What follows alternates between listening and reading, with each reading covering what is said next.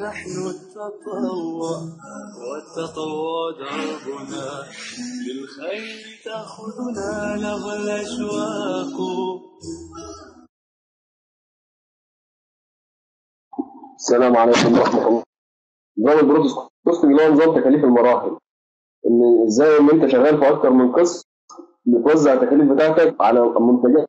منتجات ما- بتروحش قسم وتخلص فيه لا هي بتروح قسم يخلص منها جزء وبعد كده آه، تبدأ تروح على القسم اللي بعده علشان تخلص جزء جديد. هنا السؤال إيه؟ كالعاده يعني هو عن مراحل الإنتاج أهي برودكشن فلو اللي هي تدفق المنتجات. تمام؟ بس هو هنا إيه؟ يعني حد يتذاكى على الناس فابتدى من إيه؟ ابتدى من آه، المخرجات من فوق. يعني الناس السنة كده هتختلف يعني هتتلخبط يعني. يعني طبعا الناس اللي هي تبقى طبعا في الامتحان بت إيه؟ اول ما بتشوف الترتيب ده ت- ت- تفهم ان إيه ان هو ابتدى ب 100 وحده ومثلا كان عنده beginning 10 بقى 110 اللي بيشتغل عليهم خلص مثلا 90 و- و- وابتدى عنده إيه وفضل عنده في ال ending inventory 20 تمام؟ يعني كل يعني اللي يبص على السؤال من اولته هو جاي كده لكن هو الترتيب جاي من تحت. يعني هو عامل حركة يعني يعني إيه يعني بيصعبه يعني. فهنا unit started during إيه؟ ديسمبر هو شهر واحد غال عليه. 90 واحد. وبعد وكان عنده بيتكلم work in process في ال- في المخزون اللي هو تحت فترة 20 واحدة. 50 منهم 60% completed من ال conversion بس. وطالما غير النسبة يبقى معنى كده إن هم مكتملين من المواد الماتيريال بتاعتهم 100% لأن لو كان ال material نسبة مئوية برضه كان جابها جابها هنا كان قال لك قد إيه من ال material 50 إنما طالما هو جاب 60% من ال conversion معروفه إن إيه؟ إن ال material بنسبة 100% للايه لل beginning work process يعني المواد بتضاف في بدايه الفترة خدنا مثال طبعا فهمنا الحكاية دي. تعمل خلاص ممكن معاها خلاص أو ممكن يشتغل عليها جزء وممكن ما يشتغلش عليها. تمام؟ فال beginning work process بتاعنا كان آه، 20 وحده بنسبه اكتمال 60% والبدايه الوحدات اللي اشتغلت كانت اللي هنشتغل عليهم. يعني هم دول 110 اللي هنعمل التكاليف بتاعتنا عليهم. 110 واحدة. 90 و20 كانوا موجودين قبل كده يبقى هم دول 110 يبقى لازم المخرجات بتاعتي تبقى 110 ما ينفعش تبقى أقل من كده. وطبعا ما ينفعش تبقى أكتر من كده. هجيب أكتر من كده لفين؟ 10 وحدات مختلفين بنسبة 40% لل ending work process و100 وحده خلصوا وكاملين هيروحوا طبعا مرحلة جديدة. المطلوب إيه؟ المطلوب إن إحنا كان في هنا طبعا beginning work process ليه تكاليف؟ يعني يعني محمل بتكلفة. طالما مكتمل بنسبة 60% من من ال conversion اللي هي تكاليف التحويل. اللي هي طبعا كنا قايلين عبارة عن direct labor و آه و manufacturing overhead هنا وتكاليف الصناعه غير مباشره. طالما في اكتمال يبقى في تكلفة. يعني لا ال 20 وحده دي محملة بالتكلفة. ال 90 وحده دي الجديده دي لسه ما فيش حاجة حصلت عليها خالص. يعني لسه ما عملتش أي حاجة. يعني أنا أعتقد إن ده أول قسم نشتغل فيه ولسه ما اشتغلناش عليهم أي حاجة. هنبدأ بقى إيه؟ نشوف المواد بتاعتهم والايه وال- والتشغيل اللي هيحصل عليه. تمام؟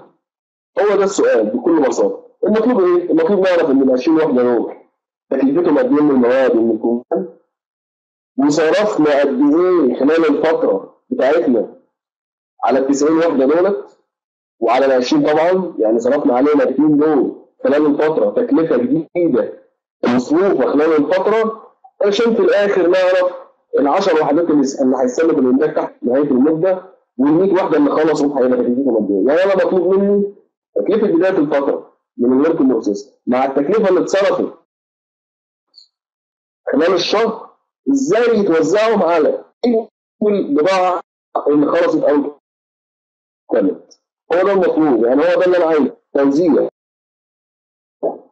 موجود تكلفة عندي بس عايز اوزع بشكل عادل طبعا. يعني 100 واحدة يروح لهم فعلا التكلفة اللي يحملوها وال10 وحدات يروح لهم فعلا التكلفة اللي يحملوها هو ده المطلوب مش عايز أكتر من كده. بس المطلوب ده بقى التكلفة بتاعتي بتختلف على اتباع نظام المخزون اللي إحنا مش شغالين عليه.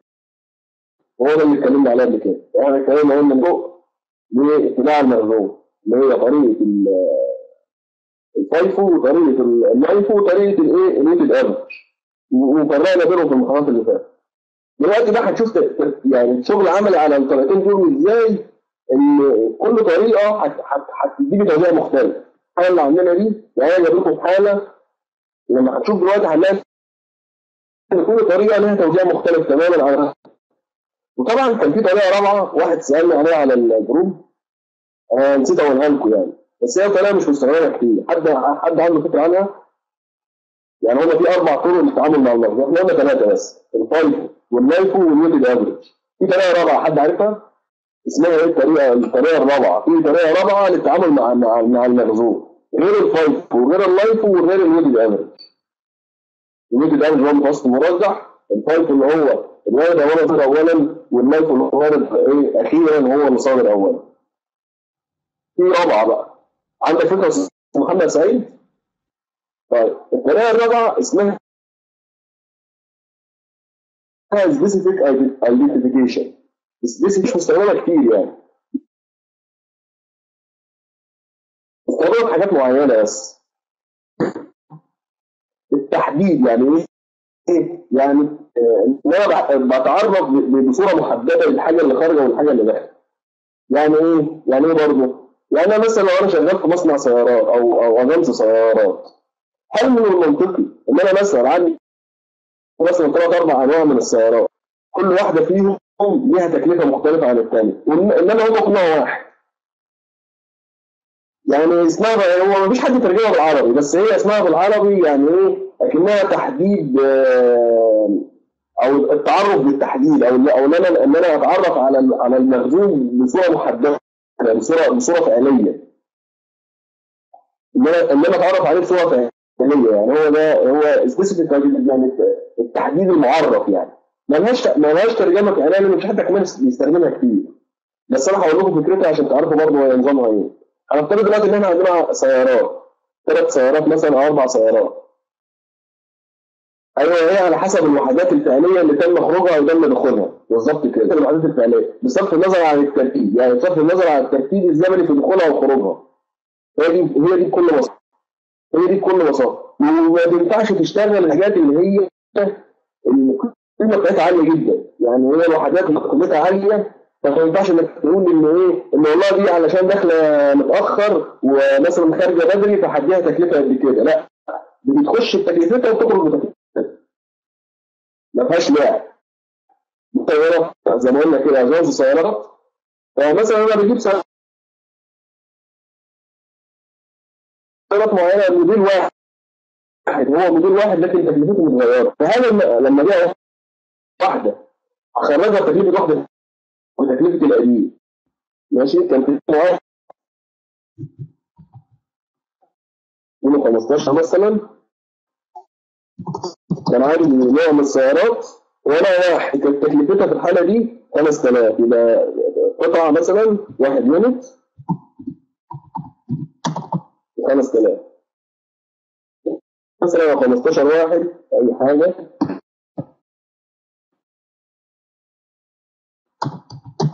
طريق جديد قلت عليها إيه؟ قطعه جديده بقت يونت كمان بقت بكام؟ بقت مثلا ب 6000 مثلا وكمان في مثلا في 20 واحد ب 7000 أسعار اتغيرت معاهم طبعا هو لو شغال يبقى أنا اجمالي المخزون بتاعي كام؟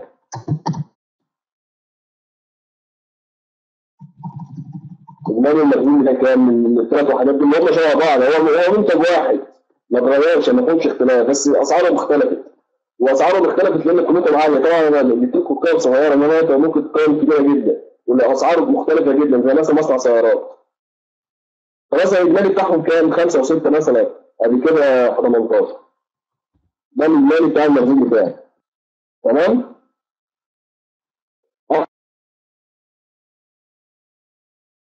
أنا جيت بعت بقى دلوقتي. لو أنا شغال مش ده واحدة واحدة مش بالترتيب. أنا إيه أنا قلت إيه والله الوحدات دي أنا هبيعها واحدة واحدة. وما قلت وما عرفتش مين الوحده اللي هتتباع. ما عرفتش. لو انت أهو. لو أنا شغال بالفايفو. أيوه هي خمس بالظبط كده. طب لو شغال بال LIFO؟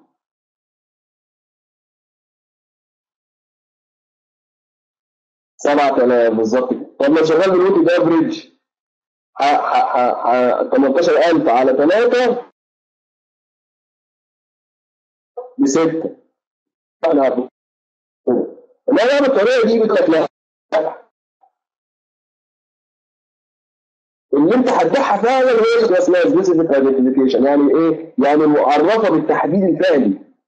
يعني بقت اللي هي دي انت طبعا لا طب إيه؟ الوحده دي حطها في سبعة. بصرف النظر عن انك جاية جديدة ولا جاية قديمه بقت الوحده دي حطها في ستة. بقت الوحده دي حطها في خمسة. طب هنظبط الحكاية دي إزاي؟ بعض. التلات وحدات شبه بعض. نظبط الحتة دي إزاي بقى؟ إزاي نظبط الحتة دي بحيث إن أنا اللي أنا بعته فعلا هو اللي اتحط التكلفة. بصرف النظر عن الترتيب الزمني في الدخول أو الخروج. نظبطها إزاي؟ حد عنده فكرة؟ نظبطها بباركود فكرة الباركود بس. ان ده فعلا اللي هتخرج عندي من ال system بالتكلفه بتاعتها. عشان كده اسمها specific identification باركود لكل منتج. المنتج الواحد هياخد من باركود هياخد أكتر من باركود ليه؟ لأن أنا زي ما قلت أنا عايز فعلا اللي اتباع هو اللي اتحط التكلفة. بس هي دي الفكرة. هي دي فكرة ال specific identification بصرف النظر عن الترتيب الزمني بقى. فأنا لو بعت دي يبقى احطها 7000 على طول. وأنا مش شغال ب LIFO ولا FIFO ولا أي حاجة. بعت دي بعت دي يبقى احطها 5000 على طول. وهكذا. تمام؟ هي دي الإيه؟ الفكرة. كل بساطة. حاجات عالية جدا. تقييمات عالية قوي وفروقات كبيرة جدا. فلازم تشتغل بحاجة زي كده. الفروقات ممكن تبقى الوفات بس هي مش. مش مستخدمة جديدة يعني. بس هي على فكرة طريقة موجودة أو حلوة يعني. أنا قريت عنها عنها في كتب المانيه أنا اللي شفتها في كتب مصرية الصراحة يعني. يعني لما قريت عنها قريت عنها في ما قريتهاش خالص في كتب مصرية يعني. تمام؟ تقريبا اللي كان بيسأل يعني ربنا ييسر و لا مش معقدة خالص. فين التعقيد؟ بالعكس. ما انت ما بتشغلش دماغك بقى بالترتيب الزمني ما انت ما بتشغلش دماغك بالترتيب الزمني انت كل ما حاطط له باركود أول ما يخش يخش بباركود أول ما يطلع يطلع بباركود وشكرا ما انت ريحت دماغك. ما انتش هتحسب حاجة خالص. أيوه التكلفه مش ثابته التكلفه مش ثابته حتى لو طلعت طريقه ثانية كده كده التكلفه مش ثابته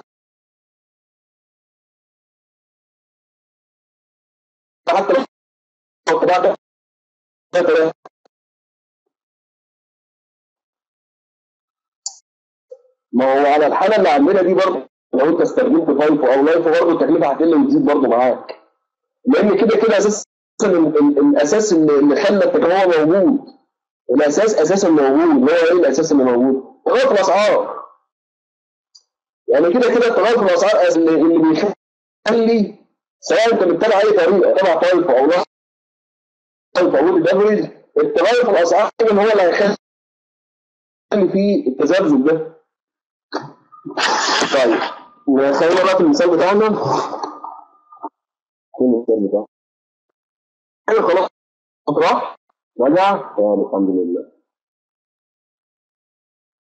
زي ما قلنا إن إيه؟ إن ال material كلها بتضاف في بدايه الفترة لكن ال conversion بتضاف بشكل إيه؟ ساعات كان ال work in process inventory 120 من ال raw material هات 120 raw material تاني و any verb حتة برضه اقولها لكم يعني. أي verb يجيبوا لك في الماضي تعرف إنها تكلفة على طول إيه؟ historical تاريخية. يعني اتصرفت خلاص. جاب لك was جاب لك had جاب لك الكلام دوت على طول تعرف إنها تكلفة إيه؟ اتصرفت فعلا. لما ال work in processing الثاني had إيه؟ 120 من ال raw material و180 من ال conversion work in process ده مجموعها كام 300 عليكم السلام ورحمة الله وبركاته لا ولا يهمك يا أستاذ عبود آه، إيه ده؟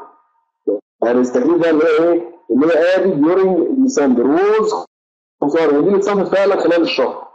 اتصرف خلال الشهر 1484 الشركة ديت اللي اسمها كروز ديت بتستخدم ال weighted average process costing. بتستخدم طريقة الايه المتوسط المرجح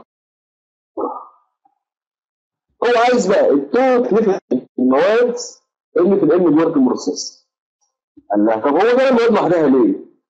يعني ليه ما قالش تكلفة ال work in process وخلاص؟ يعني ليه ما قالش تكلفة منتج تحت تشغيل نهاية المدة كتوت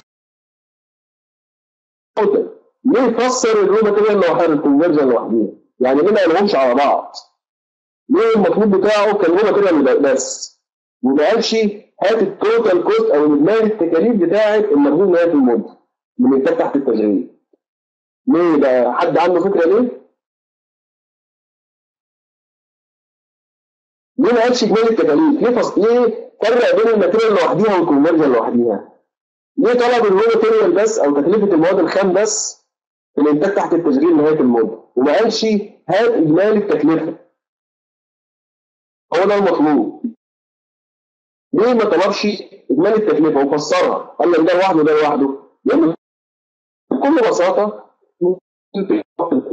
للايه للايه للشغل ما بيستنوش يعني إيه؟ في مصانع ثانية يقول لك والله لا المواد بتضاف تدريجيا. يعني إيه بتضاف تدريجيا؟ يعني مثلا مرحلة جزء. أول ما يخلص الجزء ده اطلب المواد الجديدة.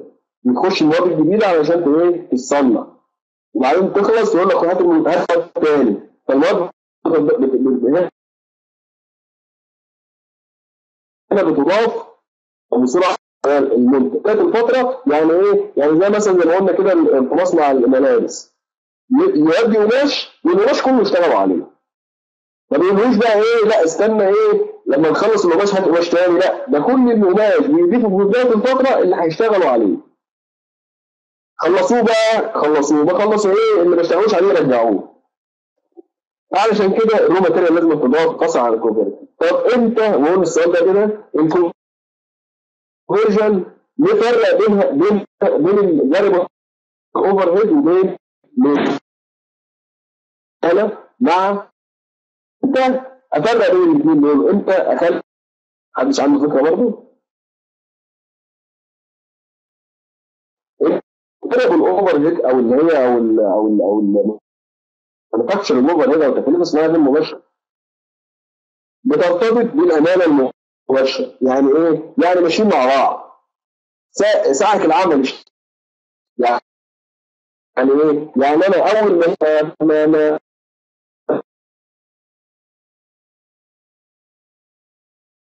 المكنه تشتغل يعني مرتبطين ببعض هو علشان يقطع على طول ولا يقطع دلوقتي بس؟ كده تمام. الحمد لله. فهو علشان يسهل الحسابات فجمعهم الاثنين مع بعض مع ال overhead مع خلاهم conversion علشان يسهل الحسابات بتاعته ويسهل التوزيع بتاعه. لكن لو انت لقيت إن ال overhead ملهاش علاقة بال labor ملهاش علاقة بالعمل أو ال labor hour. يبقى في الحالة دي لازم تفصلهم. تبقى زيها زي ال material. مش هيبقى عندك نوعين بس. انت دلوقتي عندك نوعين material مع overhead لو أنت لقيت إن في آه اختلاف لل overhead عن عن ال labor يعني ما بيحصلوش مع بعض مثلا أنت شغلك كله مبني على المكن مبني على ساعات المكن مثلا.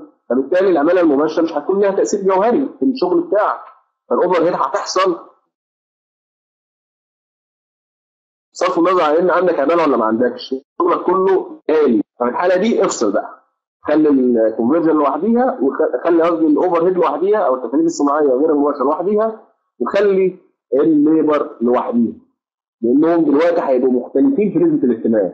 هما دلوقتي مش زي بعض في نسبة الاهتمام. إنهم ماشيين مع بعض خطوة بخطوة.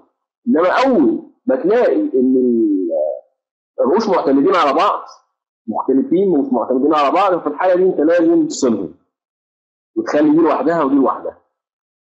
طيب يبقى مهمتنا دلوقتي إن إحنا ال raw material بتاعتنا نوزعها دعوة خالص بال conversion يعني السؤال دوت بيقول لك مالكش دعوة ما تبصش في ال conversion خالص. بص لي بس على ال raw material بتاعتك.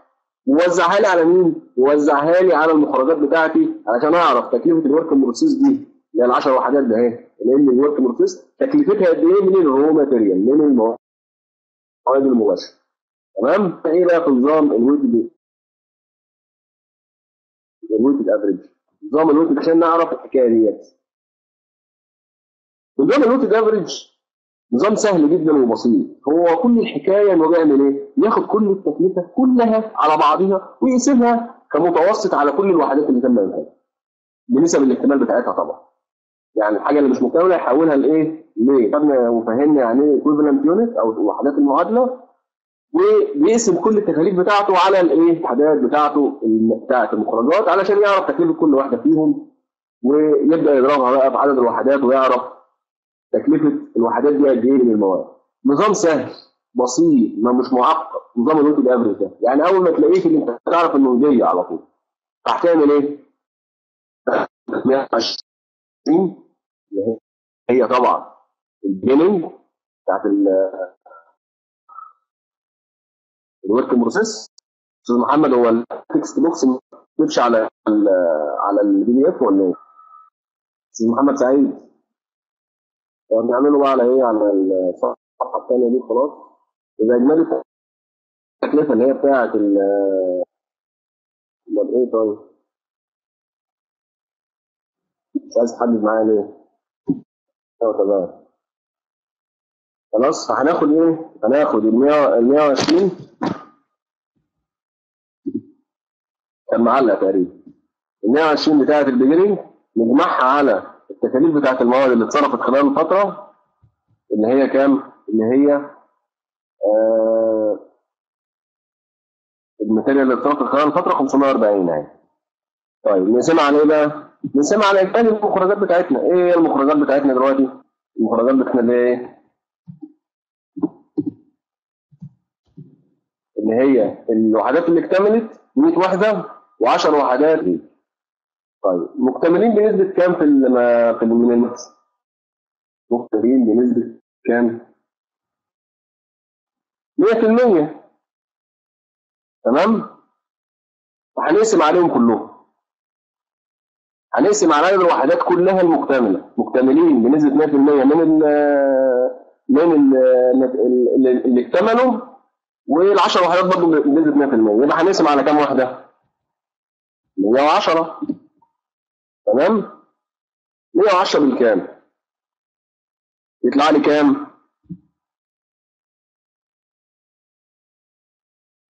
يبقى 120 خف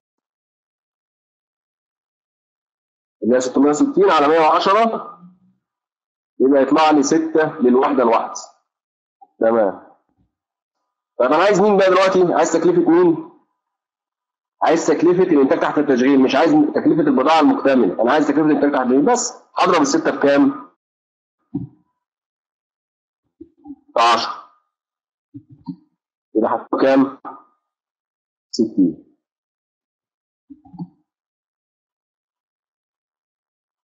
وبرضه لو أنا عايز أعرف تكلفة الوحدات المكتملة قد إيه من ماتيريال برضه هضرب كام في كام؟ يقول لي كده 6 في كام؟ تكلفه الوحدات المكتملة من الماتيريال؟ 6 في كام في 100 أيوه بالظبط كده. أستاذ عبود اشتغل أهو. يبقى 600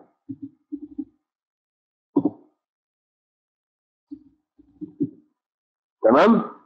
لازم لازم. 660 دول 660 اللي هم تكلفة الإنتاج تحت تشغيل نهاية المدة مع تكلفة الوحدات المكتملة لازم يكون يساوي إيه؟ بيساوي 660 دول اللي إحنا ابتدينا بيهم.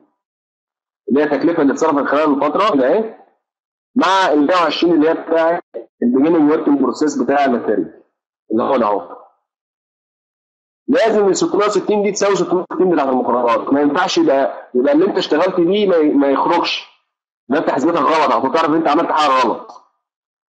طيب. طب إحنا بقى عايزين نشوف ال weighted ال average بالنسبة لل conversion بنفس الكيفية هي. بس الاختلاف الوحيد هيبقى في حاجة واحدة بس إن نسبة الاكتمال مختلفة. نسبة الاكتمال مختلفة يبقى لازم نحول ل 10 معادلة يعرف نعملها. هنعملها إزاي بقى؟ برضه نقسم إيه؟ نقسم الإيه؟ التكاليف اللي بتاعه ال conversion process نجمعها على مين؟ 180 نجمعها على حد يقول نجمع على مين؟ على التكلفة بتاعه ال conversion اللي اتصرفت خلال الفترة. اللي هي كام؟ اللي هي 1484 تمام؟ هي دي إجمالي التكاليف بتاعه ال conversion سواء كانت في ال beginning أو أنا صرفتها خلال الفترة. محتاج إن أنا أوزعها بقى دلوقتي. أوزعها على مين؟ أوزعها على إنتاج تحت نهاية الفترة والبضاعة المكتمله. طيب هل ينفع إن أنا بقى أعمل زي الماتيريال كده أقول 110 ينفع أقول 110 أوزع على 110 ولا ما ينفعش؟ ينفع ولا ما ينفعش؟ ينفع أوزع على طول على 110 حد شرب أستاذ أحمد التغوري ينفع؟ طيب ما ينفعش طبعا ليه ما ينفعش؟ لأن ما ينفعش إنك تساوي 10 وحدات دولت اللي هم مكتملين بنسبة 40% هم بال 100 وحدة المكتملين دول 100 وحدة مكتملين إنما دول 10 وحدات ما هماش لسه اكتملوا لسه بس اكتملوا بنسبة 40% من الكونفرجن فينفع إن أنت تساوي ده؟ بده تساوي المكتمل ب 40% مع المكتمل بنسبة 100% ما ينفعش. يبقى لازم تحول المكتمل بنسبة 40% ده يساويه باللي مكتمل بنسبة 100% يعني تعادلوا. عشان كده سموها وحدات معادلة مكافأة. تكافئوا. تخليهم بعض. تخلي أساس أساس التوزيع واحد. ال 10 وحدات مكتملين بنسبة 40% يبقى هعمل إيه؟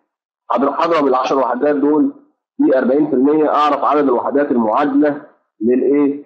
للوحدات الكاملة فبالتالي 10 وحدات في 40% يديني كام؟ يديني أربع وحدات الأربع وحدات دولت إيه؟ مع ال 100 هم دولت يدوني أساس الإيه؟ أساس التوزيع يبقى على 104 جبنا ال 104 دي خلاص مثلا ولا ولا أقولها أقول اهو 100 ان هم مكتملين مكتملين خلاص ومش مفهومش مشكلة زائد الإيه؟ ال 10 وحدات اللي هم بيجيننج بس المرة دي هضربهم في 40% بالظبط كده تمام؟ يبقى 10 وحدات 100 علشان أو, أو, أو أعادلهم أخليهم مكافئين أو معادلين لل 100 وحدة.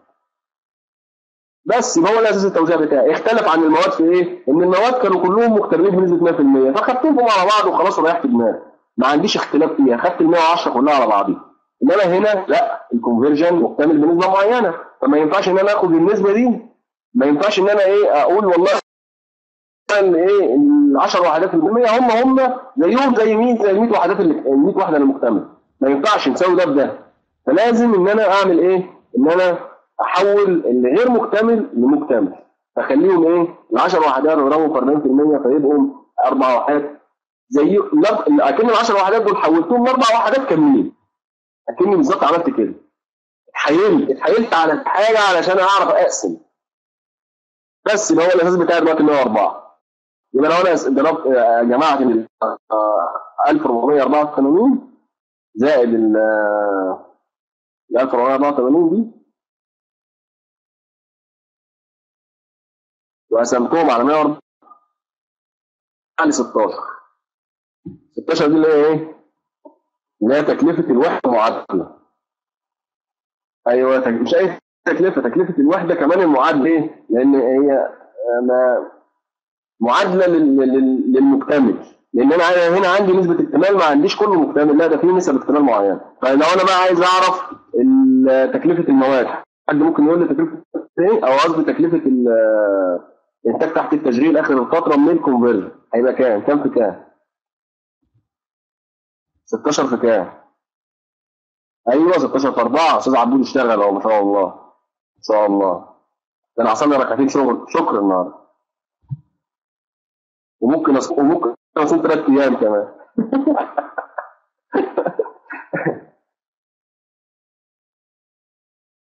لا والله الصراحة يعني أنا انبسط ان يبقى في واحد يش... يعني ما كانش بيشتغل واشتغل كده حسستني ان النهارده عملت حاجة يعني. طيب 16 في 4 بكام؟ ب 64 يبقى أنا كده عرفت إيه؟ ان تكلفة التاج تحت التشغيل من الكونفرجن 64 تمام؟ طيب لو أنا عايز اعرف بقى تكلفة الوحدات المكتملة من الكونفرجن هنضرب كام في كام؟ 16 100 الوحدات الكامله 100 في كده يبقى 1600 وطبعا لو أنا جمعت ال لو أنا جمعت ال 1600 زائد ال 40 لازم يديني إيه؟ يديني إجمالي التكلفة اللي أنا بادئ بيها. اللي هي 180 زائد 184 يبقى التكلفة اللي أنا ابتديت بس انتهيت بيها بشكل عادل يبقى أنا دلوقتي لو قلت إجمالي انتاج تحت التشغيل إجمالي تكلفة انتاج تحت التشغيل من المواد والكونفرجن هتكون كام؟ طبعا باستخدام الورد الافرج هتكون كام؟ كام زائد كام؟ إجمالي تكلفة انتاج تحت التشغيل من المواد يعني أنا عايز تكلفته تحت التشغيل تكلفته كامله كام؟ أيوه. كام؟ أيوه 64 بالظبط كده. 60 بتاعت المواد و64 بتاعت 24 مظبوط يا أستاذ محمود. واحد كمان دخل معانا ما شاء الله. ربنا يزيده ويبارك. تمام؟ طب اللي عايز أعرف بقى تكلفة الوحدات الكاملة. إجمالي تكلفة الوحدات الكاملة. اجمالي تكلفة الوحدات الكاملة والمحولة. طبعا هتتحول لواحد لمرحلة جديدة. يعني هتتحول لمرحلة جديدة. هتبقى كام؟ 2000 بالظبط كده. كام؟ اللي هي 600 زائد 1600 600 بتاعة المواد تكلفتها من المواد. 1600 تكلفتها من؟ من الكونفرت بالظبط كده. دي طريقة الولد الافريج طريقه سهلة جدا. صح؟ ما فيهاش أي مشكلة. الحكاية. أنا باخد كل التكاليف بتاعتي. سواء بقى من الجانب بروسيس أو أو التكاليف أنا هصرفها خلال الفترة ناخدهم كلهم نقسمهم على الوحدات المعادلة. لو أنا بقى وحداتي معادلة انتاج تحت التشغيل نهايه المده مكتمل بنسبة 100% باخده هو هو زي ما فيهوش أي اختلاف زي ما عملت في المواد. ما عملت في المواد دي خدت ال 10 كلهم بتوع انتاج تحت التشغيل في المواد. ليه؟ لأنهم مكتملين بنسبة 100% أما لو كان نسبة الاكتمال مش 100% فببدأ أحول الوحدات ديت لوحدات معادلة ابقى من مضرب 40% في الوحدات ديت عشان أوصل لإيه؟ للوحدات المعادلة للوحدات الكاملة ويبقى في الحالة دي أساس التوزيع بتاعي يختلف. بدل 110 هيبقى 104 بس. 104 اللي هم كانوا كام؟ 10 وحدات 40 زائد 100 يعني 4 هم زائد ال 100 بس. خلاص؟ تمام. الطريقة دي سهلة قوي صح؟ حد عنده مشكلة فيها؟ متوسط مرجح. انت كده بت... يعني بتجيب متوسط. انت كده بتجيب متوسط للتكلفة بتاعتك. يعني مش شغال متواصل ما بيشغلكش بقى انت ابتديت بإيه ونهيت واللي داخل الأول يخرج الأول ولا اللي خرج الأول يخش الأول.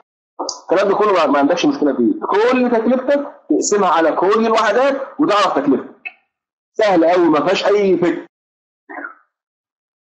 تمام؟ يعني كل الناس عندها ما عندهاش مشكلة في ال weighted ال average دلوقتي. كله تمام ما عندوش مشكلة في ال weighted ال average ولا إيه؟ عشان نخش في ال FIFO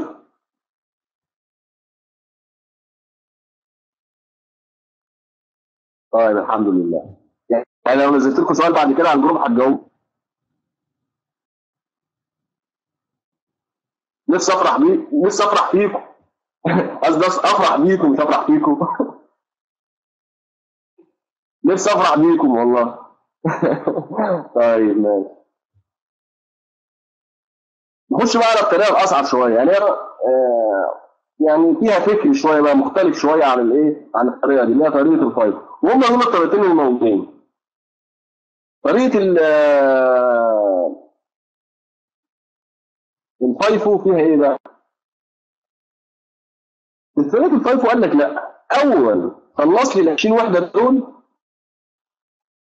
اللي هم بتوع ال beginning work process اما تخلصهم وتخلصهم خالص أنا أشتغل على 90 وحده اللي جايين جداد دول. عليكم السلام ورحمة الله وبركاته. تمام؟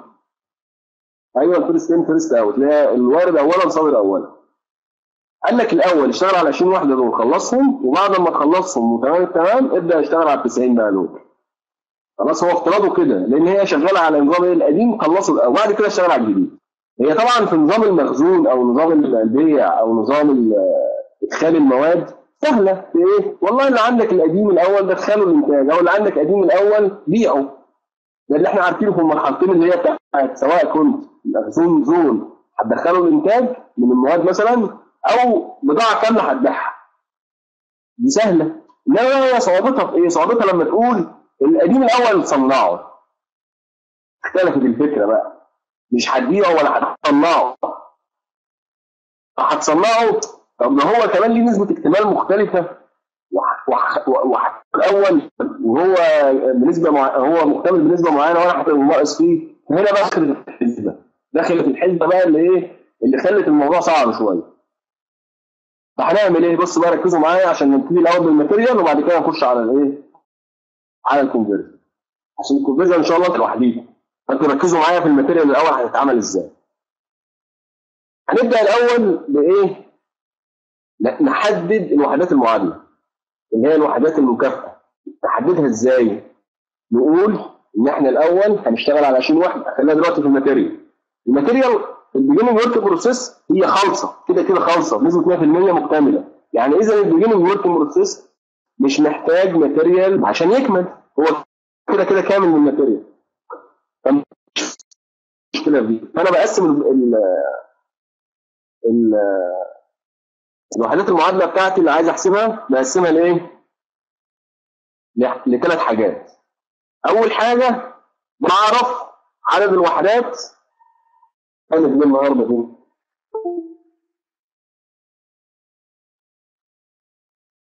التكست يا أستاذ محمد بعد إذنك.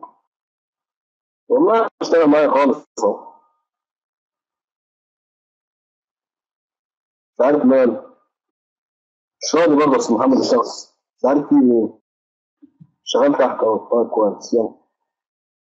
هنبدأ نخلصها أو واحدة المفروض نخلصها من البدايه من الورك بروسيس. ده أول حاجة. ده أول حاجة هتحدد ثلاث خلاص كومبليتي. من البيجننج ورك بروسيس. صارت كده يعني. كده كومبليتي من الايه من الورك بروسيس. من البيجننج طبعا. طبعا دي إيه؟ مفيش حاجة المفروض نكملها من ال beginning work process اللي يخص ال material. ال material أساسا كده كده مكتملة بنسبة 100% من ال beginning work process وده إحنا قلناه قبل كده. يبقى إذا ال beginning work هنكملها منه. يبقى zero. نخش بقى ال material. طيب أنا عندي كام وحدة ابتدت مع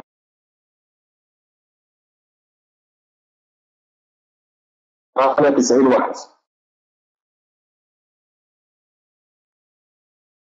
يبقى اذا اللي كمل من ال- والمية دي داخل 20 اللي ابتدينا واشتغلنا عليها. تمام؟ يبقى أنا دلوقتي اللي ابتدينا بيه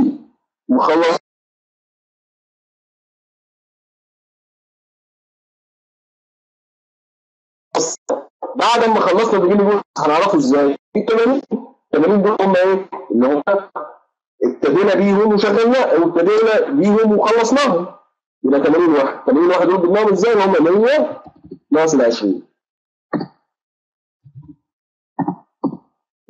ده يساوي كام؟ 80 كنا ممكن نجيبها بطريقه ثانية؟ آه ممكن نجيبها بطريقه ثانية نقول إيه مثلا ان ال 90 وحده دول؟ إحنا ابتدينا بيه صح؟ 10 10 منهم لسه تحت التشغيل. 10 منهم. لسه في نهايه تحت التشغيل. ال ending work in process يبقى معنى كده اللي خلص منهم كام 80 ما على افتراض إن ال 20 وحده دول كده كده خلصوا يعني إحنا افترضنا إن ال 20 وحده دول كده كده خلصوا. انتهوا. أول حاجة هنبتدي نصنعهم ونخلصهم. يبقى إذا اللي ابتدى بقى ناقص 10 ال 90 دول انتهى منهم انتهى تحت التشغيل نهايه الفترة 10 وحدات يبقى اذا اللي خلص من ال 90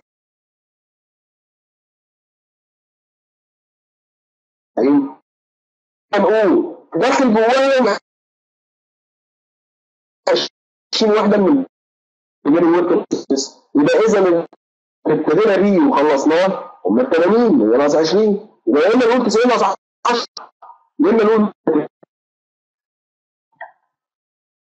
تمام كده معايا؟ يبقى إيه بقى؟ إيه إيه الوحدات اللي المفروض إن أنا احسبها؟ اللي هي وحدات تظن انتاج تحت تشغيل نهايه المده كام؟ تظن انتاج تحت التشغيل نهايه المده من واضح إحنا اتفقنا إن هو 100% فبالتالي هم 10 وحدات بالكامل يبقى لأن يبقى إيه الايكوفالنس إيه؟ من الام ورك بروسيس من الام ورك بروسيس حد يقول لي كده كام؟ ال equivalent بتاعت ال end work process الخاص بال material؟ محدش عارف. 10 وحدات إحنا قلناها. 10 وحدات طب 10 وحدات إزاي؟ دي طبعا زي ما قلنا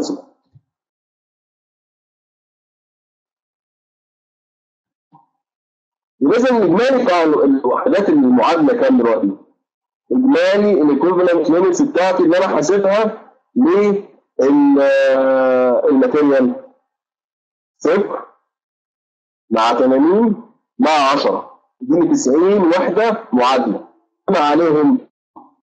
مش حاسب ال 540 بتوع ال material اللي اتصرفوا خلال الفترة على ال 90 وحدة دول. عليكم السلام ورحمة الله وبركاته. عشان يطلع لي كام؟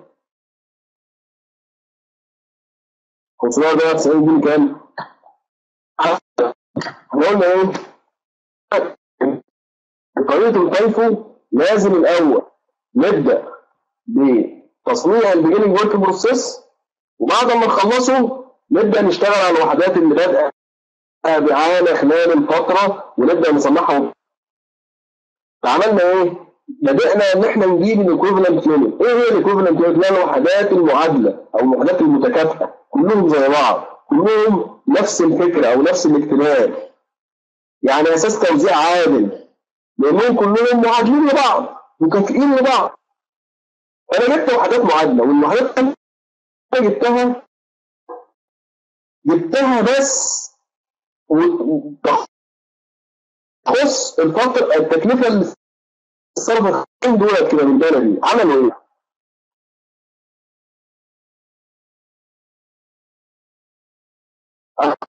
سمعت بيهم إيه؟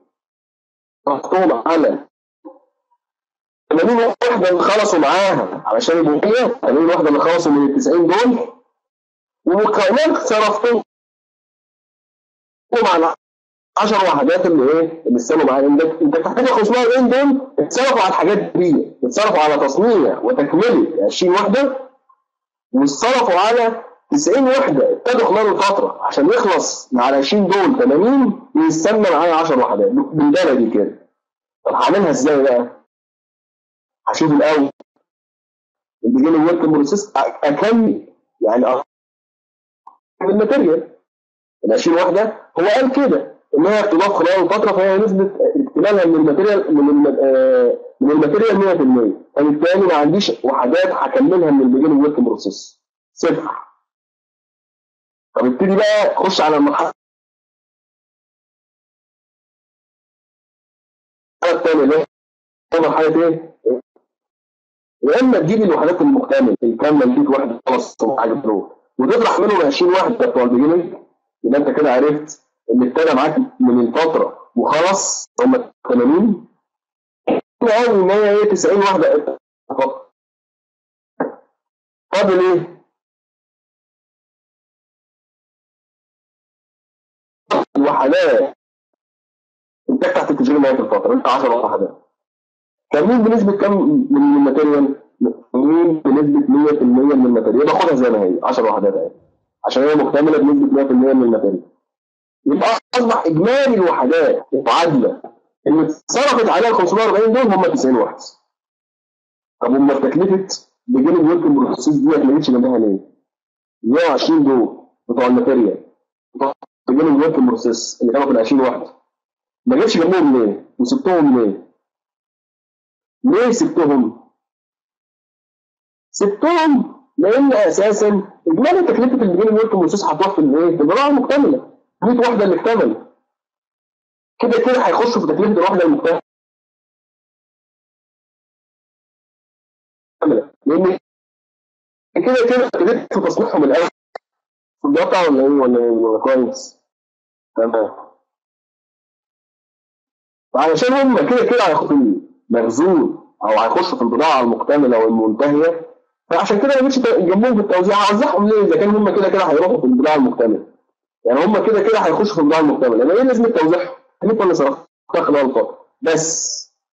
طب صرفتها على إيه؟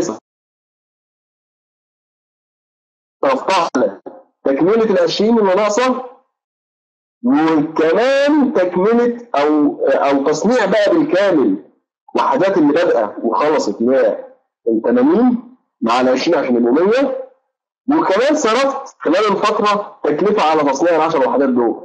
ال 10 وحدات المختلفين كده جبت ال 90 وحدة وطبعا قسمت ال 540 عليها وطلع مين؟ الست. طبعا أنا عايز بقى اوزن اضربها في كام عشان أعرف ال end work process من ال material وأضربها في كام عشان أعرف تكلفة ال material في ال completed unit أو البضاعة المكتمله الست دي هضربها في كام بقى؟ عشان أعرف ال end work process بتاعي كام.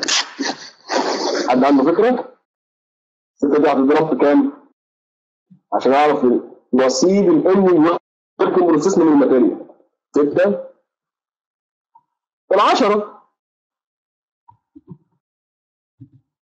اللي هم ال 10 وحدات الكاملين من من ال work process من ال work process كامل بنسبة 10 بنسبة 100% من ال material أنا واخد أهو. أنا واخد ال work process ال 10 بحالها أهي.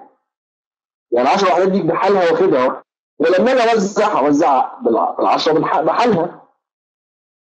يبقى اذا تكلفه work process من ال material هيكون كام؟ هيكون 60 يعني ما اختلفش حاجة على تكلفه ال average طيب طب تكلفه بقى البضاعه المكتمله من ال material هتكون كام؟ هي دي بقى الفكرة هنضرب 6 بكام؟ حد عنده فكره 6 بكام؟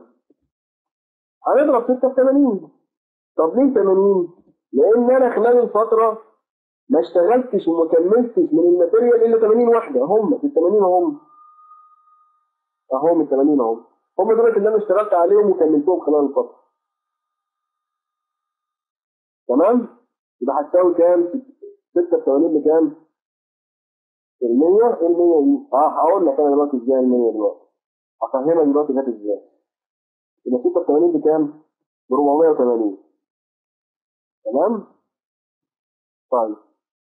بس كده يعني 86 كده أنا عرفت تكلفة الوحده تكلفة المواد في البضاعة المكتملة. إذا كان هم 100 أيوه. إذا كان هم 100 ليه أنا ضربت ال 80 لأن التكلفة بتاعت السته دي اللي استخدمتها خلال الفترة أو اللي أو اللي طلعتها من تكاليف اللي اتصرفت خلال الفترة اللي هي 540 ما اتصرفتش غير على 80 وحده بس. أمال ال 20 التانيين كانوا فين؟ ما هم كانوا ال beginning work process وكاملين هم كانوا كاملين من ال material. فعشان كده ما خدتهمش معايا. في الست في الحسبة دي الحسبة بتاعت الستة دي حسبة تخص فقط الوحدات اللي اللي اتصرفت خلال الفترة على التصنيع. أنا جيت لما صنعت خلال الفترة ما صنعتش غير 80 واحدة بس. امال ال 20 التانيين دول كانوا فين؟ ال 20 التانيين دول كانوا بادئين. كانوا أساسا مكتملين مكتملين خلال الفترة من الماتيريال. خدتهم كاملين على بعض وحطيتهم في الإنتاج بتاعي أو حطيتهم في البضاعه المكتمله على طول. فعشان كده 480 هضيف عليها إيه بقى دلوقتي؟ إيه المفروض ان أنا أضيفه عليه علشان أعرف تكلفة الوحدات المكتملة من ال material؟ بكل بساطة هضيف عليها. تكلفة الوحدات الانتاج تحت التشغيل شوف معلومة؟ معلومة عند كل الناس؟ طب خلاص اعمل refresh تصوص يعني هضيف عليها مين؟ هضيف عليها ال 120 عشان يبقى إجمالي التكلفة بتاعة البضاعة المكتملة خلال الفترة من الماتيريال كام؟ إجماليها كام دلوقتي بقى؟ 480 زائد 120 كام؟ 600 طيب إيه الحكاية بقى؟ إيه اللي حصل بقى تاني بقى عشان نش- نشرحها بقى للناس كده واحدة واحدة. كل الحكاية بص 660 هم هم 660 بتوع دول. ما اختلفوش حاجة من ال material. هي هي ال 660 دي هي بالظبط ال 660 بتاعت مين؟ بتاعت طريقه ال- ال- ال FIFO. الاختلاف الوح... ال... ال... ال... ما اختلفوش ليه بقى؟ بس الاختلاف في التوزيع كان مختلف. التوزيع بتاعهم كان مختلف. بالرغم من اني طلعت نفس النتيجة لكن بطريقة مختلفة. طبعا ال... ال... ال... الشكل طبعا هيختلف تماما مع ال conversion. لكن أنا عملت إيه؟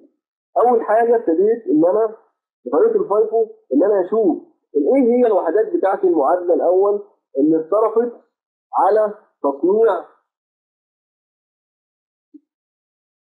اللي اتصرفت عليها التكلفة بتاعت الفصل 540 إيه هي الوحدات المعادلة أو المكافأة اللي 540 اتصرفت على عليها علشان آه، أبتدي التصنيع بتاعي.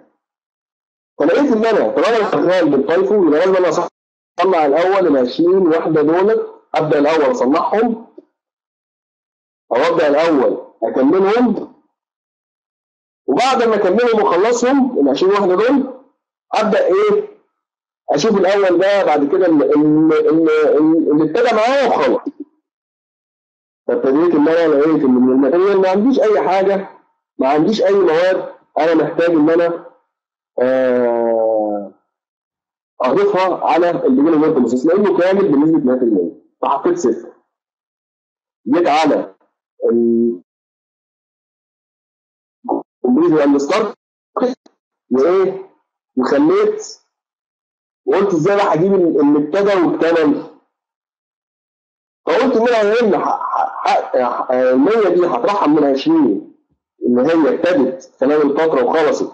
أعرف اللي ابتدى واكتمل يا إما 90 ناقص 10 بنفس ال 20 ده يبقى كام؟ يبقى 100 يبقى أنا كان عندي 80 على 20 يبقى 100 مع ال 20 بتوع بداية الفترة يبقوا هم ال 100 اللي خلصوا وفضل إيه؟ فضل ال 10 وحدات بتوع ال end ال work process اللي أنا اشتغلت عليهم وما خلصتهمش هيخشوا هدخلهم معايا في الإم في الإيه؟ في ال equivalent unit اللي هي الإيه؟ ال equivalent end ال work process كام؟ 10 وحدات بالتالي ال 10 وحدات دي اللي هي طبعا كاملين بنسبة 100% من الماتيريال فخدتهم زي ما هم قسمت بقى إيه بقى؟ قسمت تكلفة الفترة فقط فقط على الوحدات المعادلة بتاعت اللي هي 90 اسمها 40 على 90 يداني 6 ما ينفعش بقى السته دي طبعا غير في الوحدات المعادلة اللي أنا جبتها منها. يعني ما ينفعش إن أنا جبت سته من 90 وحده فاضرب السته دي تعالى اكبر من 90 يعني بمنطقي كده. ما ينفعش السته دي اضربها في 100 مثلا وأنا أساسا جايب 90 وحده معادلة بس. يبقى لازم السته تتضرب في حدود 90 وحده بس فقط. واخد بالك يا أستاذ عبود في الحتة دي؟ 100 100 ما ينفعش تضرب في 100 لانك انت أساسا ما قسمتش على 100 انت قسمت على 90 يبقى إزاي تقسم على 90 تضرب في 100 طيب يبقى ضربنا الستة دي بكام؟ ضربنا الستة دي. في ال 10 علشان أعرف تكلفة المواد في إنتاج تحت التشغيل آخر اللي هو كام؟ اللي هو ال end process كان 10 عدد كاملين بنسبة 100% فخدتهم زي ما هم. وضربت في 6 فاداني 6 فأنا دلوقتي بقى محتاج أعرف تكلفة الوحدات الكاملة من ال material. أعرفها إزاي؟ برضه نفس الكلام. هاخد ال 80 وحدة فقط فقط. وأضربها في الستة. يبقى دلوقتي أنا عرفت إيه؟ عرفت تكلفة المواد على 80 وحدة. طب فاضل ال 20 فاضل ال 20 ما هم 100 ال 20 جاهزة. ال 20 أساسا ما كانتش محتاجة تصنيع من ال material. هي جاهزة بنسبة 100% من ال material. يبقى خد التكلفة بتاعتك. خد التكلفة بتاعتك كلها بتاعت ال beginning work process بحالها. اللي هي بنسبة 100% من ال raw material. اهي 20 تكلفة ال raw material الخاصة بال beginning work process خدها بحالها. واجمعها على 480 تعرف تكلفة الايه البضاعة المختلفة. بكل بساطة. أهمية بقى الطريقة دي هتظهر في ال conversion. طريقة ال conversion هي اللي هتظهر في الكلام ده. شوف بقى ال conversion هنعمل إيه؟ هنشتغل على نفس الأرقام علشان بس ما نقفش نكتب تاني يعني إيه هنمسح بس الأرقام ديت بعد اذنكم ونشتغل عليها أنت بقى هنا بقى ال conversion ده هت- هتعرف الفرق بقى. أول حاجة أنت محتاج تكمل beginning work process بتاعك. الله. طب ما هو ال beginning work process ناقص له قد إيه أساسا؟ لو خدت بالك هم 20 واحد. كاملين بنسبه 60% من ال conversion محتاجين كام علشان يكملوا كام كام النسبة اللي محتاجين عشان يكملوا حد يقول لي كده؟ ال beginning work process من ال conversion كامل بنسبة 60% محتاج كام عشان يكمل محدش عنده إيه؟ 60% كامل بنسبة 60% فاضل له كام نسبة كام علشان تكمل؟ علشان يكمل يبقى يبقى 100% من بيجيننج ورك بروسيس أيوه 40% بالظبط كده. مش محتاجه فكرة يعني. أنا 70% دول هم اللي أنا محتاج اصلحهم على process عشان يبقى إيه؟ عشان يبقى 100% هو ما هو الفكرة في ال FIFO إيه إن أنا بشتغل على البيجيننج ورك بروسيس الأول وبعد ما اخلصه أبدأ أشتغل على الايه على الجديد فانا هقول دلوقتي إن الكومبليتد من البيجيننج ورك بروسيس كام بقى دلوقتي؟ ما بقاش صفر بقى دلوقتي. بقى كام؟ بقى 20 كام؟ ب 60 40% قصدي تمام طيب تمام تمام مظبوط. يبقى أنا محتاج إن أنا أكمل في حدود 8 وحدات. الثمانية دي مش فعلية. الثمانية دي إيه؟ طرف أكني بالظبط. قلت إيه؟ قلت إن أنا كان عندي 20 وحدة لكن المعادل من 20 وحدة دول علشان اعادلهم بالمكتملة 8 وحدات فاهم الفكرة؟ اكني بقول زي 40% من 20 لكن ال 40% دول هم 8 وحدات أكني بالظبط حولت ال 20 ل 8 وحدات كاملين بالظبط كده بعمل كده طيب ال completed ال started and completed كام؟ هيختلفوا حاجة عن ال 80 دول؟ ال started and completed ولا هيفضلوا زي ما هم 80 هيفضلوا ما هم 80 ولا هيختلفوا عن 80 اللي هي ال started and completed اللي هي الوحدات اللي بادئة معايا وخلصت عندك فكرة يا أستاذ عبود؟ بما إنك أنت اللي شغال معايا يعني؟ أيوه 80 في 80 وحده هيفضلوا زي ما هم في الكمبيوتر ولا هيختلفوا؟ أيوه زي ما هم بالظبط كده. ما اختلفوش حاجة. زي طب زي ما إن أنا عندي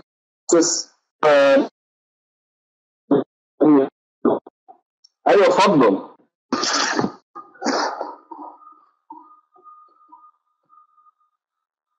لو سمحت وسكت طيب الفكرة بتاعت حساباتهم واحدة إن هي إيه؟ إن أنا شفت الأول.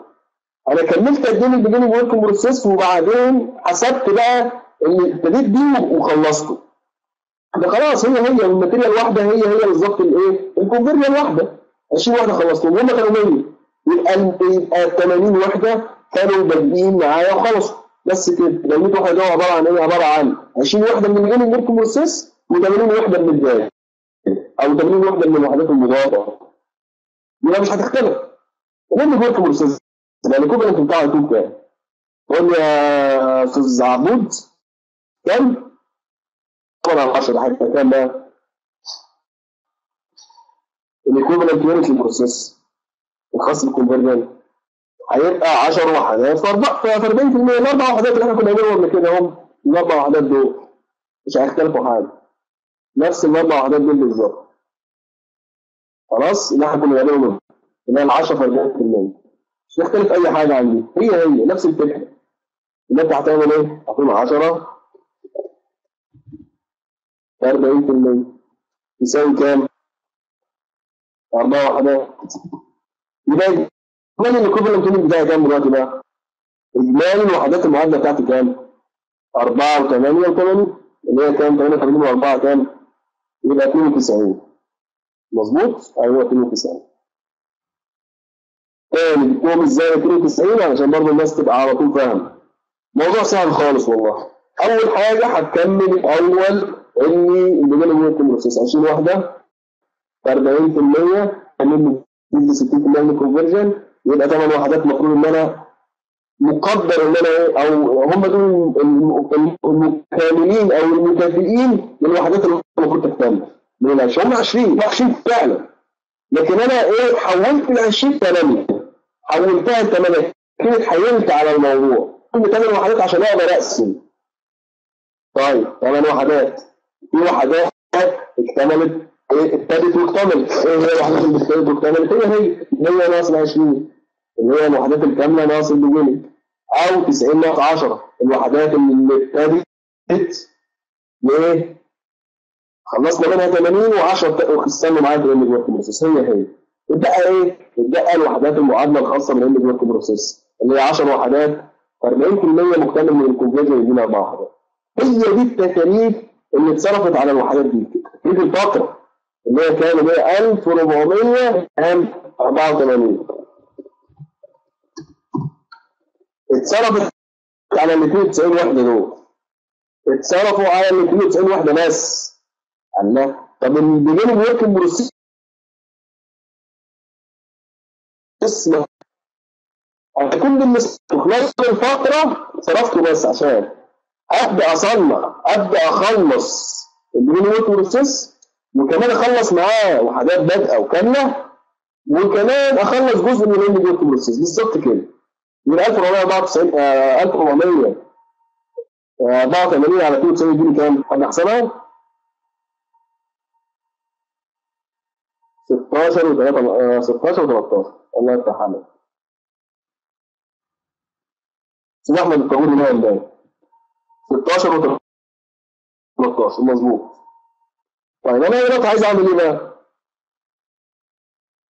بنفس الكيفية أنا عايز اعمل عايز أوزع 16 و 13 دول على ال end work process وعلى البضاعة المكتملة بس هضربه في إيه بقى؟ يعني 16 و 13 دي هضربها في إيه؟ ممكن تقول لي اضربها في إيه عبود علشان أعرف تكلفه الانتاج تحت التشغيل من ال conversion 16 13 من 10 اضربها في إيه؟ اضربها في كام؟ عشان أعرف تكلفة انتاج تحت التشغيل من ال conversion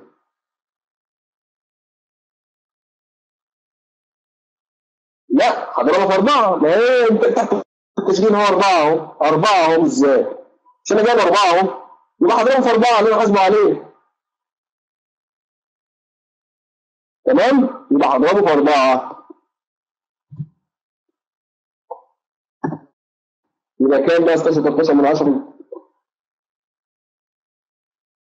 فهمت ليه أربعة؟ لأن أنا أساسا حاسبه بأربعة يعني أنا لما قسمت التكاليف قسمتها على أربع وحدات ما ينفعش اضربها في 8 لازم اضربها في الأربعة اللي أنا حاسبها عليه اللي هو نسبة اكتمال نسبة اكتمالي من التكاليف اللي اتصرفت عليه أربع وحدات دي ما يعادل أربع وحدات لازم تكلفته هتكون كام؟ 13 13 في 4 بكام؟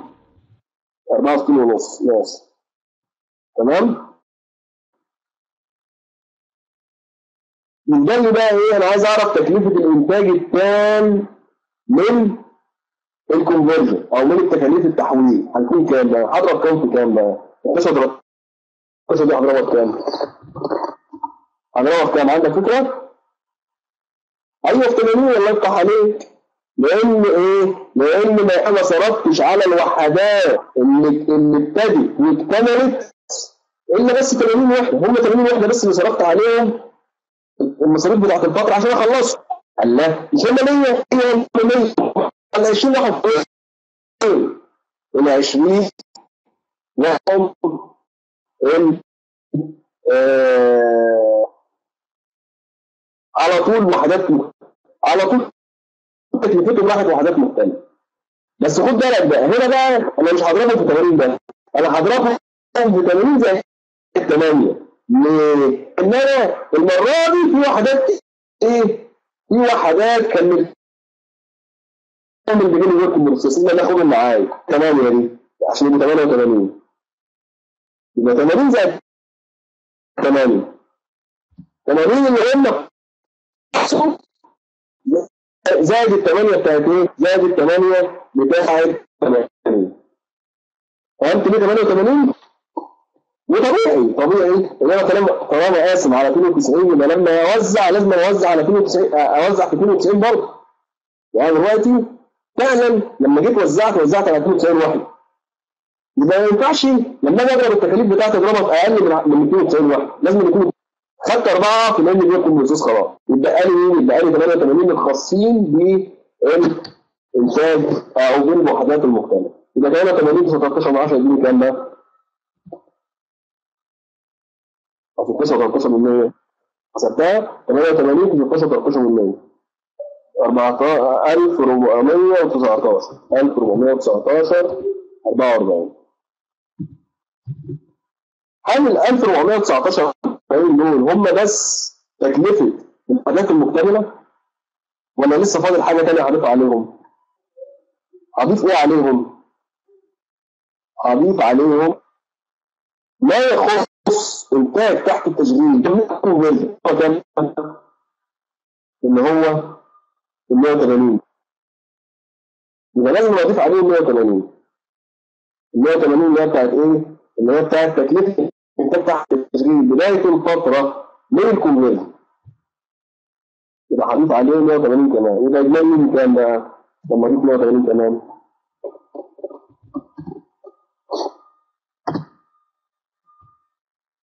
الاجمالي بتاعي هيبقى حاجة احسبها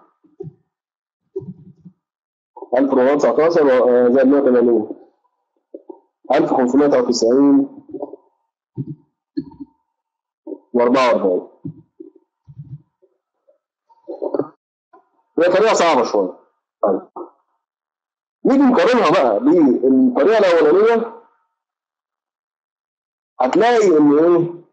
إن تقريبا الاختلافات بتاعتهم مش كبيرة أوي. يعني إيه؟ بص الطريقة الأولانية كانت 64 ونص الإن الورك النصوص بتاعي. الإن الورك النصوص بتاعي بنظام الويتد أفريج كان 64 والاندنج والكومبليتد 1600 لما لما استخدمت لقيت ان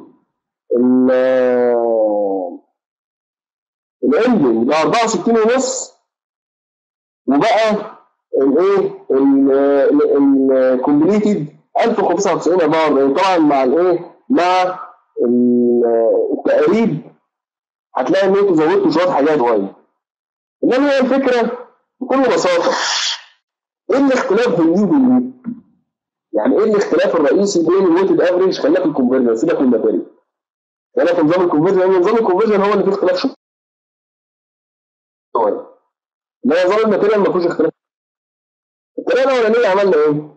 الطريقة الأولانية خدنا التكلفة بتاعت ال beginning ال work process بحالها اللي هو 80 مع التكلفة بتاعت الفترة بحالها 1484 قسمناهم على إيه؟ قسمناهم على إجمالي التكاليف بتاعتي بتاعت الإيه؟ الوحدات المعادلة. اشتغلنا على النهاية على طول 100 وحده completion و10 وحدات كاملين بنسبة 40% حولناهم لأربعة 4 لو طلع لنا 16 ال 16 دي مطلوب مننا إن إحنا نوزعها بحدود ال 104 اللي إحنا سمعناها 16 ضرب من الانتاج تحت التشغيل نهاية المدة من ال conversion. 16 ضربناها في 100 اللي هم الكم عرفنا الايه إنتاج المكتمل أو تكلفة البضاعة المكتملة من ال conversion. 1600 مباشره حاجة سهلة وبسيطة وسريعة. إنما دي آه لا. قال لك لا. ما تديهاليش وتقول لي إن إيه إن الوحدات كلها حاجة واحدة لا لي الأول ال 20 وحده دول على إنهم يخلصوا الأول ويكملوا الأول وبعد ما يخلصوا ويكملوا ابتدي ابتدي اشتغل على إيه؟ ابتدي اشتغل على الوحدات اللي أنت إيه؟ ضيفها خلال الفترة 90 وحده فابتدى الأول يشتغل على 20 وحده هم كاملين من 60% يعني محتاجين منهم قد إيه؟ محتاجين نكمل 40% 20 في 40 عرفنا إن إحنا في واحد وحدات بما يعادل ثمان وحدات من 20 مفترض إن إحنا هنشتغل عليهم خلال الفترة. طيب الوحدات بقى اللي ابتدينا بيها وخلصناها عرفناها منين؟ يا إما 90 اللي إحنا ابتدينا بيها. 10 وحدات استنوا معانا انتاج تحت التسجيل منهم منهم. طلعنا كده؟ اللي ابتدى وخلص 80 وحده يا إما اللي خلصناهم خالص كانوا 100 وحده ناقص البيجن الوركينج بروسيس 20 يطلع لي خدهم على بعضهم على طول هم دول اللي إيه؟ اللي ابتدينا بيهم وخلصناهم ناقص إيه؟ ناقص التكلفة بتاعت أو ناقص الوحدات المعادلة بتاعت الام ورك بروسيس 10 وحدات. ال 10 وحدات دول مالهم؟ خالصين فيهم 40% هناخدهم بنفس الكيفية اللي خدناها في اللود average 40% في 10 أربع وحدات خدناهم. يبقى الإجمالي 92 92 وحده أو مكافأة قسمنا عليهم أو قسمنا هنا في ال weighted average كنا قسمنا التكلفة اللي اتصرفت خلال الفترة. مع ال beginning work process على الوحدات المعادله أنا هقسم بس التكلفة بتاعت الوحدات أو التكلفة بتاعت اللي اتصرفت خلال فتره فقط على الوحدات المعادلة علشان أعرف تكلفة الوحدة المعادلة. وهبدا أوزعها في حدود ال 92 دي طيب. يبقى 16 و13 هضربها في الأربعة مباشرة بتكلمني بورك بروسيس عشان أعرف تكلفة الكونفرجن من الايه أو تكلفة الام ورك بروسيس من الكونفرجن 64 ونص. يتبقى لي كام من ال 92 يتبقى لي 88 اللي هم دول اللي هم صرفوا خلال الفترة. 8 خلصت بيهم البيجن ورك بروسيس وال 80 اللي اللي ابتديت خلصتهم أنا 88 ضربتها 16 13 من 10 عرفت تكلفة الايه الوحدات اللي اتصرفت أو ال- ال- التكلفة اللي اتصرفت على إيه؟ على ال 100 وحده اللي خلصت. هضيف عليها بس مين؟ هضيف عليها ال beginning work process تكلفة اللي هي 180 اللي هي هنا دي. هضيفها عليه علشان كده كده ال beginning work process خلص الأول. فال 180 على طول آه، آه، جمعتها على تكلفة آه، الوحدات بتاعت ال 88 وحده فيطلع لي إجمالي تكلفة ال conversion الايه من الوحدات المكتمله اللي هي 100 وحده خلاص دي بكل بساطة. process costing سواء هتستخدم ال weighted average أو هتستخدم ال آه، ال FIFO. طبعا طريقة ال weighted average أسهل بكتير طبعا. لكن طريقة ال FIFO برضه بنفس الخطوات اللي إحنا اشتغلنا عليها دي. يعني انت لو حفظت الخطوات دي حتى لو ما فهمتهاش يعني مش شرط إنك تفهمها. ممكن تحفظها بس. تحفظ أنت بتعمل إيه. لو حفظت بنفس الترتيب اللي أنا عامله ده هتقدر توصل لتكلفه الوحدات المكتمله وتكلفة الوحدات انت تحت التشغيل بطريقة الفايتر تمام يا أستاذ عبود فهمتها ولا ولا في مشكلة؟ أنا خدنا المحاضرة كلها كده في المثال ده. لو كنت عامل حساب إن أنا أشرحها في نص ساعه خلينا المحاضره كاملة فيه خلاص؟ اتمنى بس ان الناس لما تشوفها بقى في ال- في اليوتيوب تفهمها يعني. آه، كده الحمد لله خلصنا ال process costing وما خدناش كنت كنت النهارده يعني عايز آخد ال variable costing وال absorption costing المره الجاية إن شاء الله ناخدها بقى. بس المهم إن ال process costing كده تكون الناس فهمتها يعني. يلا سلام عليكم.